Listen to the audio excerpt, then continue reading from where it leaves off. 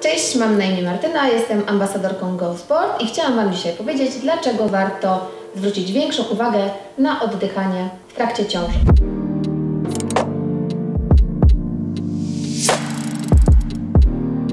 Rosnący płód powoduje, że w brzuchu mamy coraz mniej miejsca. Narządy są uciśnięte, a przepona ma utrudnioną pracę. Dlatego warto zwrócić uwagę na to, w jaki sposób oddychamy w ciąży. Często oddychamy górną częścią klatki piersiowej, przez co jest to oddech płytki i szybki. Chciałam Wam pokazać kilka sposobów na to, aby bardziej uruchomić przeponę do pracy. Lepsza praca przepony powoduje, że nasze dziecko jest bardziej dotlenione, narządy są lepiej ukrwione i nasze samopoczucie jest o wiele lepsze. Pierwsze ćwiczenie. Połóż dłoniach na dolnych żebrach i postaraj się wziąć powietrze w kierunku swoich dłoni.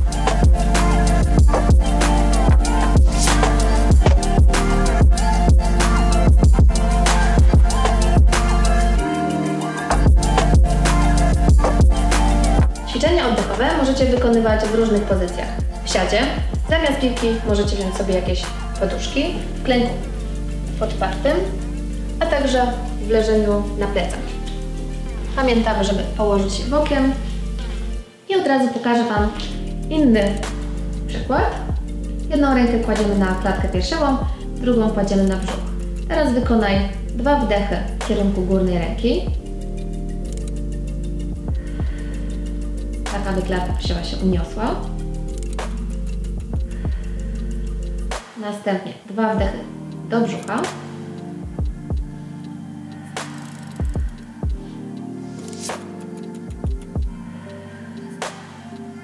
A teraz postaraj się nabrać powietrze w przestrzeń między dłoni. Tak, aby żadna ręka się nie poruszyła.